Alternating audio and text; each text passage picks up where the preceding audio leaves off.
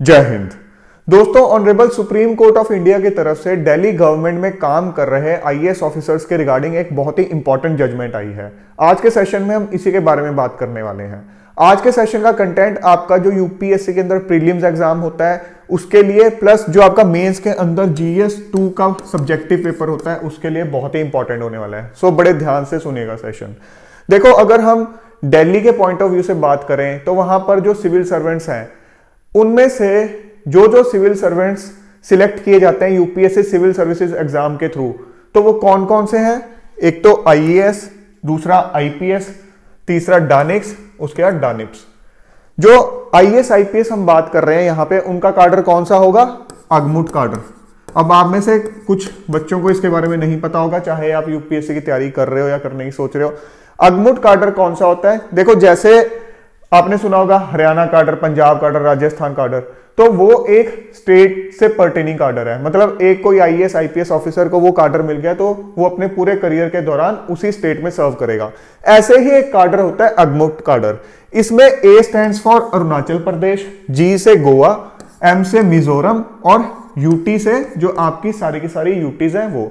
सो so, जो अगमुट कार्डर के ऑफिसर्स होते हैं उनकी ये सारी की सारी यूटीज प्लस अरुणाचल प्रदेश, गोवा और मिजोरम में कहीं भी पोस्टिंग हो सकती है। मतलब इनके बीच उनका ट्रांसफ़र होता रहता है।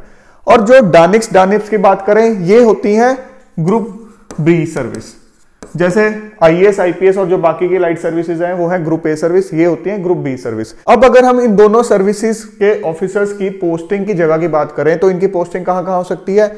डी से दिल्ली ए एन से अंडेमान निकोबार उसके बाद Lakshadweep Dadra and Nagar Haveli, Daman and Diu. इन्हीं सभी जगह पर इन ऑफिसर्स की पोस्टिंग हो सकती है। अब ये कौन डिसाइड करता है कि जो एगमोट कार्डर का कोई आईएएस आईपीएस ऑफिसर है या डानिक्स डानिप्स का कोई ऑफिसर है तो उसकी पोस्टिंग दिल्ली में होगी या जो बाकी के मैंने आपको स्टेशन बताए हैं, वहाँ होगी। ये डिसाइड करती है मिनिस्ट्री ऑफ़ होम अफेयर्स जो सेंटर की मिनिस्ट्री ऑफ़ होम अफेयर्स है, वो कार्डर कंट्रोलिंग अथॉरिटी है इन चारों सर्विसेज़ के लिए। सो so, आपके दिमाग में एक चीज़ आएगी कि ठीक है इनमें से कोई ऑफिसर जब दिल्ली में पोस्ट किया जाता है तो विद इन दिल्ली उसकी जो विद इन अलग अलग डिपार्टमेंट्स ट्रांसफ़र होनी है वो कौन कंट्रोल करेगा? तो अगर आप इस चीज़ को किसी स्टेट से रिलेट करोगे लाइक हरियाणा के अंदर कोई आईएएस आईपीएस ऑफिसर की पोस्टिंग हुई है उसको एक कार्डर अलॉट हो गया तो उसके बाद हरियाणा की गवर्नमेंट डिसाइड करती है कि कब किस आईएएस ऑफिसर को कौन सा डिपार्टमेंट देना है कब उसका ट्रांसफ़र करना है। सो so, आपके माइंड में एक चीज़ आ सकती है ठीक है दिल्ली के अंदर भी एक गवर्नमेंट है। तो जब कोई आईएएस ऑफिसर दिल्ली गवर्नमेंट के अंदर काम कर रहा है तो उसकी ट्रांसफ़र भी दिल्ली गवर्नमेंट कंट्रोल करेगी।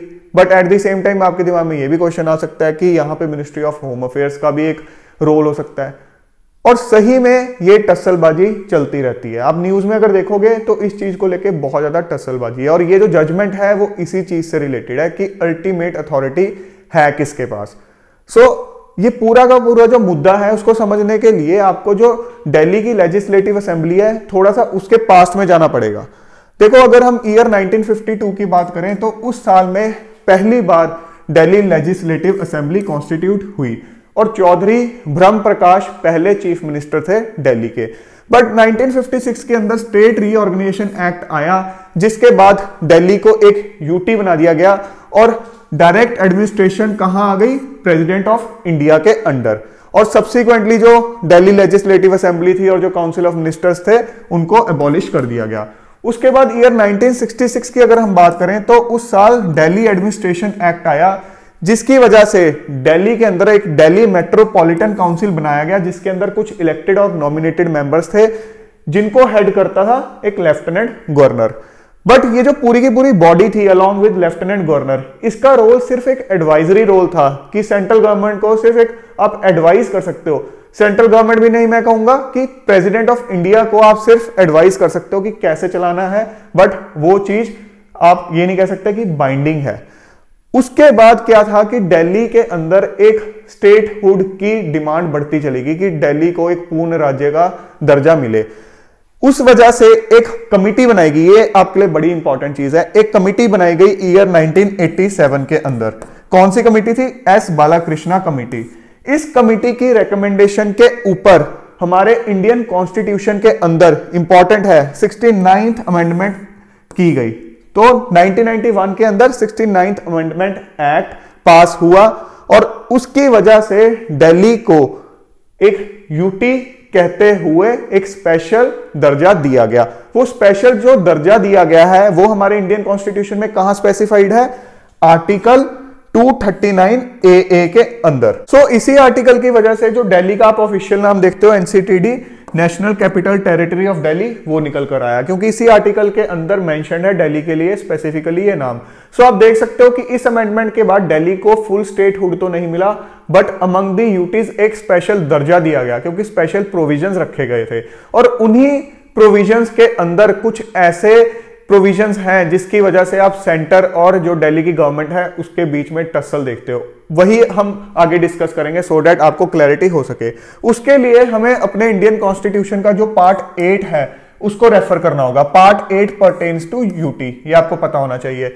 अब पार्ट एट के अंदर सबसे पहले आर्टिकल कौन सा है? 239 जो कि इन जनरल यूनियन टेरिटरी से परटेनिंग है। इसमें लिखा हुआ है कि जो यूनियन टेरिटरी की एडमिनिस्ट्रेशन है वो डायरेक्टली कौन देखेगा? प्रेसिडेंट ऑफ़ इंडिया और वो अपने बिहाफ पर एक एडमिनिस्ट्रेटर अपॉइंट करेंगे, जो कि वहाँ की एडमिनिस्ट्रेशन देखेगा और आगे प्रेसिडेंट ऑफ़ इंडिया को डायरेक्टली रिपोर्ट करेगा। अब जो आर्टिकल 239 डबल ए जो अभी हमने पीछे डिस्कस किया है, दिल्ली से परटेनिंग स्पेशल प्रोविजंस वो ऐड किया गया अमेंडमेंट के साथ। अब उसके आगे हम सेक्शन थ्री की बात कर रहे हैं। आर्टिकल 239 डबल ए के सेक्शन थ्री की। अब थ्री के अंदर पहले है सब पार्ट ए अब इसमें क्या लिखा हुआ है? इसमें लिखा हुआ है, देखो, जैसे एक स्टेट लिस्ट होती है, आपको पता होगा state list concurrent list union list state list में वो वो चीज़ें होती हैं जिनके ऊपर कोई स्टेट कानून बना सकती है। उसके ऊपर सेंटर कानून नहीं बना सकता उस स्टेट से परटेनिंग कंकरेंट लिस्ट वो होती है जिसके ऊपर सेंटर भी कानून बना सकता है स्टेट भी कानून बना सकती है कुछ ऐसी चीज़ें। और यूनियन लिस्ट में ऐसी ऐसी चीज़ें जिसके ऊपर सिर्फ़ सेंट्रल गवर्नमेंट कानून बना सकती है स्टेट गवर्नमेंट कानून नहीं बना सकती। जैसे कि defence railways foreign policy foreign policy से रिलेटेड चीज़ें वो स्टेट तो बनाएगी नहीं।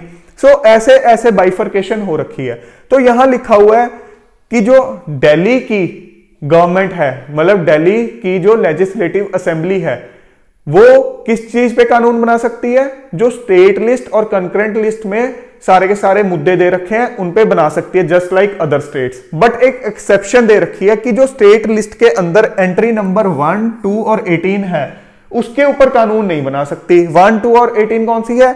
वन है पब्लिक ऑर्डर टू है पुलिस एटीन है लैंड तो इन तीन मुद्दों के ऊपर ये कानून नहीं बना सकते. तो ये इनके जुरिस्डिक्शन से बाहर चला जाता है. तो ये कहाँ चला जाएगा डायरेक्टली किसके जुरिस्डिक्शन में? प्रेसिडेंट ऑफ़ इंडिया के जुरिस्डिक्शन में। मतलब आप एक कह सकते हो कि एक तरह से यूनियन गवर्नमेंट के पास ये डायरेक्टली चीज़ें चली गई। उसके बाद एक चीज़ और इंपॉर्टेंट है यहाँ पर। यह चीज़ भी मेंशन की गई है कि अगर यहाँ की लेजिस्लेटिव असेंबली किसी एक मुद्दे पे कानून बनाती है, उसके बाद पार्लियामेंट भी उस मुद्दे पे कानून बना सकता है। ये नहीं है कि स्टेट लेजिस्लेटिव असेंबली ने एक पर्टिकुलर इशू को लेकर कानून बनाया तो उसका पार्लियामेंट उसको छेड़ नहीं सकता। पार्लियामेंट भी बना सकता है। और फाइनली जो पार्लियामेंट का होगा, वो वैलिड होगा। ये चीज़ भी क्लियरली यहाँ पर मेंशनड है।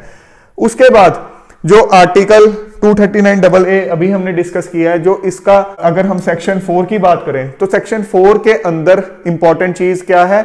इसमें लिखा हुआ है कि एक चीफ मिनिस्टर होगा जो कि हेड करेगा काउंसिल ऑफ़ मिनिस्टर्स को। जैसे कि आप सेंटर में देखते हो पीएम हेड कर रहा है। काउंसिल ऑफ़ मिनिस्टर्स को स्टेट के अंदर देखते हो। ऐसे ही यहाँ लिखा हुआ है दिल्ली के लिए भी एक सीएम होगा जो कि हेड करेगा काउंसिल ऑफ़ मिनिस्टर को। वो एड और एडवाइस करेगा लेफ्टिनेंट गवर्नर को कि आपको किस तरह से काम करना है। और ये सारे के सारे उन सब मुद्दों पे उनको एडवाइस कर सकते हैं एक्सेप्ट दोज मुद्दे जिनके लिए एलजी के पास लेफ्टिनेंट गवर्नर के पास कोई डिस्क्रिशनरी पावर है। उसके अलावा अगर मान लो इन्होंने कुछ एडवाइस दिया और एलजी उस एडवाइस के साथ सहमत नहीं है। मतलब एक डिफरेंस ऑफ़ ओपिनियन है। तो ऐसे केस के अंदर एलजी उस मैटर को प्रेसिडेंट को रेफर कर सकते हैं। और जब तक उन्होंने रेफर किया हुआ है प्रेसिडेंट को और उनको लगता है मीन वाइल उस मुद्दे के ऊपर एक्शन लेना बहुत ज़रूरी है तो वो अपने हिसाब से जैसे उनको ठीक लगे सिचुएशन के हिसाब से एक्शन भी ले सकते हैं। सो so, अब आप देख सकते हो कि अगर सेंट्रल गवर्नमेंट दूसरी पार्टी की है और आप दिल्ली के अंदर देखो कोई और पार्टी है और अगर लेफ्टिनेंट गवर्नर सेंट्रल गवर्नमेंट की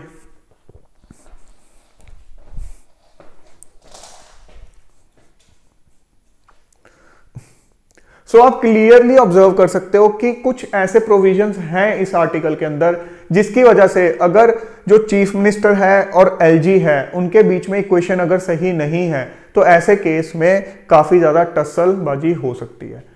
सो so, अब हम आते हैं जो प्रेजेंट इशू है। आईएएस ऑफिसर्स की पोस्टिंग ट्रांसफ़र को लेके। वो कहाँ से शुरू हुआ? वो शुरू हुआ ईयर 2015 से। ईयर 2015 के अंदर मिनिस्ट्री ऑफ़ होम अफेयर ने एक नोटिफिकेशन जारी की जिसमें उन्होंने ये बोल दिया कि अब से एलजी का पूरा का पूरा कंट्रोल होगा सर्विसेज़ के ऊपर। अब ये सर्विसेज़ क्या है? जैसे कि अभी हमने पीछे देखा था कि यहाँ पर लिखा हुआ था कि जो एंट्री नंबर वन टू और एटीन है स्टेट लिस्ट की इसके अलावा बाकी सब पे लॉ बनाया जा सकता है दिल्ली गवर्नमेंट की तरफ़ से इन पे नहीं बनाया जा सकता। ऐसे ही एक एंट्री नंबर होती है 41 स्टेट लिस्ट के अंदर, जहाँ पर आ जाती है आपकी पब्लिक सर्विसेज़ जैसे स्टेट पब्लिक सर्विस कमीशन भी होता है तो वो भी उसी के अंडर आता है। तो ये उससे पर्टेनिंग है। तो एक नोटिफिकेशन जारी होगी कि आप कह सकते हो जो स्टेट लिस्ट के अंदर 41 नंबर की एंट्री है, उस पर भी मिनिस्ट्री ऑफ़ होम अफेयर्स ने कह दिया कि एलजी का ही कंट्रोल होगा। अब जब इस पे बोल दिया एलजी का कंट्रोल होगा तो अब आप देख सकते हो कि जो आईएएस ऑफिसर्स हैं, आपके डानिक्स के ऑफिसर्स हैं, जो भी ऑफिसर्स की ट्रांसफ़र पोस्टिंग होनी है बेसिकली एडमिनिस्ट्रेटिव मशीनरी की जो भी ट्रांसफ़र पोस्टिंग होनी है विद इन डेली वो डायरेक्टली एलजी को डेप्यूट कर दी गई। अब इसके खिलाफ जो दिल्ली की गवर्नमेंट है, वो दिल्ली हाईकोर्ट गई और ईयर 2017 के अंदर दिल्ली गवर्नमेंट ने इस नोटिफिकेशन को वैलिड करा दे दिया। उन्होंने ये बोल दिया LG is not bound by the aid and advice of the council of ministers in every matter उन्होंने दिल्ली गवर्नमेंट के अगेंस्ट जजमेंट दे दी। अब दिल्ली हाई कोर्ट के इस फैसले के अगेंस्ट अपील की गई honourable supreme court of India में। सुप्रीम कोर्ट के अंदर ईयर 2019 के अंदर एक टू जज बेंच ने स्प्लिट वर्डिक्ट दी। स्प्लिट वर्डिक्ट का क्या मतलब हुआ कि एक जज ने फेवर में दिया, दूसरे जज ने उसके ऑपोजिट अपनी वर्डिक दी। तो ऐसे केस में आप ये नहीं कह सकते कि बेंच की एक यूनानिमस वर्डिक थी। तो ऐसे केस में जो आपका केस होता है, वो रेफर कर दिया जाता है एक थ्री जज बेंच को। सो so डेट यहाँ पे अगर मान लो तीनों का ओपिनियन एक नहीं भी होगा तो टू इज़ टू वन के अंदर कोई एक जजमेंट निकल के आएगी। तो थ्री जजेस की जो बेंच को ये केस रेफर किया गया तो लास्ट ईयर 2022 के अंदर थ्री जजेस की बेंच ने ये पाया कि ये जो केस है बेसिकली इंटरप्रिटेशन ऑफ़ कॉन्स्टिट्यूशन है। मतलब अगर कोई ऐसा केस हो जिसमें कोर्ट को ये लगे बेंच को ये लगे कि इसके अंदर हम कॉन्स्टिट्यूशन का कोई एक आर्टिकल या कोई एक, आप कह सकते हो पार्ट उसको इंटरप्रेट करने की बात है। तो ऐसे केस के अंदर आर्टिकल 145 थ्री के अंडर केस रेफर कर दिया जाता है कॉन्स्टिट्यूशन बेंच को, जिसका कॉम्पोजिशन एटलीस्ट फाइव जजेस का होगा। ये आर्टिकल कहता है कि जब भी कोई केस ऐसा हो जहाँ पर इंटरप्रिटेशन ऑफ़ कॉन्स्टिट्यूशन की बात हो तो वो जो बेंच होगा, वो एटलीस्ट फाइव जजेस का होगा। तो ये रेफर कर दिया गया कॉन्स्टिट्यूशन बेंच को।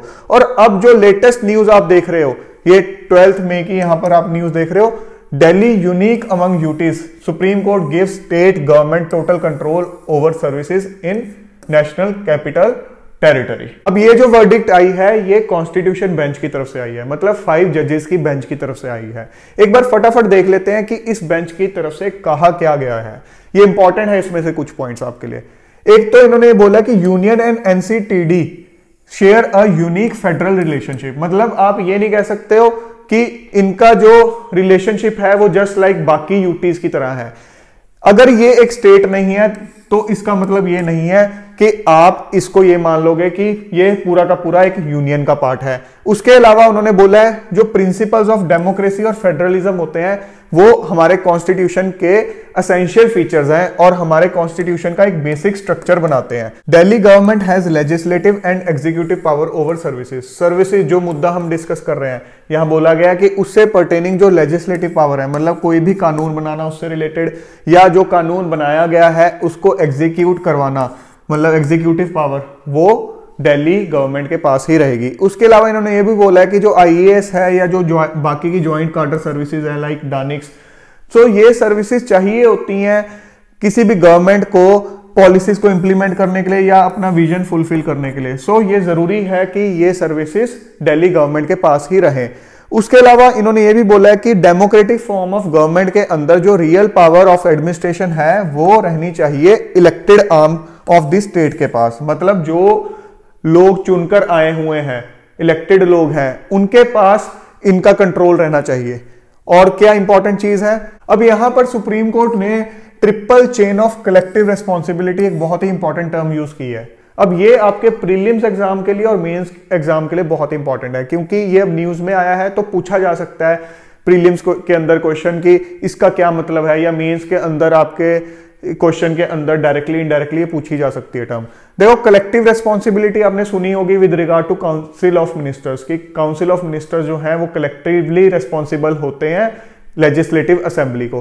Triple chain of collective responsibility का मतलब है कि जो एडमिनिस्ट्रेशन के ऑफिसर्स हैं they are collectively responsible to the council of ministers और council of ministers are collectively responsible to state legislative assembly और state legislative assembly is collectively responsible to the electorate. मतलब जो लोगों ने वोट्स डाली हैं, जिन लोगों ने वोट्स डाली हैं, स्टेट लेजिस्लेटिव असेंबली, उनको कलेक्टिवली रेस्पॉन्सिबल है। तो इसीलिए ट्रिपल चेन बोली गई है।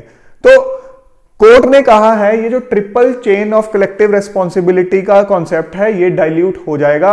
अगर जो ऑफिसर्स हैं वो डायरेक्टली काउंसिल ऑफ़ मिनिस्टर्स को रेस्पॉन्सिबल नहीं होंगे।